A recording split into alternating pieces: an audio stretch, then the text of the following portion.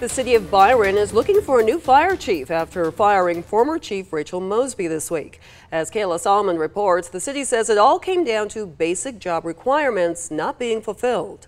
We first introduced you to Chief Rachel Mosby back in April when she sat down with 13 WMAZ to discuss her life as a transgender woman in a male-dominated job. Mosby began her transition back in 2016 and says her coworkers were supportive. Mosby had this to say about her job in April.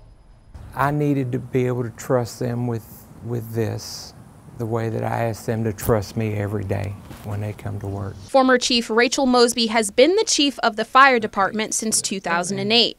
But Byron Mayor Pro Tem Michael Chittister says she was fired for not fulfilling some basic job duties. The chief uh, was required in his job description to maintain, obtain and maintain the certification as an arson investigator. Um, and he failed to do that. She failed to do that. That's one of three reasons outlined in the city administrator's termination letter. That letter also says that the city paid for Mosby to attend a fire chief's training conference in Savannah, but she attended only five of the 21 classes, and that she failed to process business licenses quickly enough, causing business delays.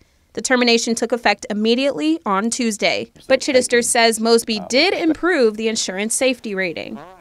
Chief Mosby, among other things, was charged with uh, working to improve the ISO rating for the city of Byron, and I will say that uh, he and subsequently she uh, did a great job.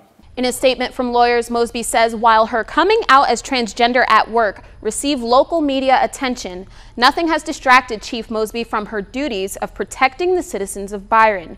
Chief Mosby has and maintained all of the necessary certifications for her position, and there is nothing about Chief Mosby's performance that warranted her termination.